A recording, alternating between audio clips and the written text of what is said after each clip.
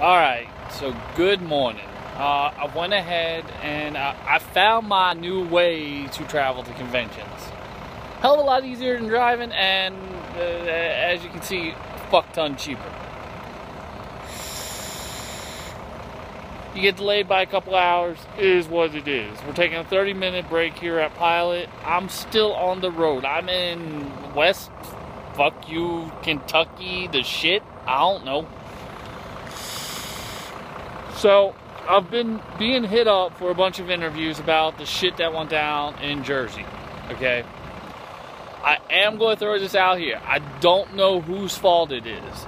The only people I can definitively put the blame on is definitely that senator that walked in, definitely the health department.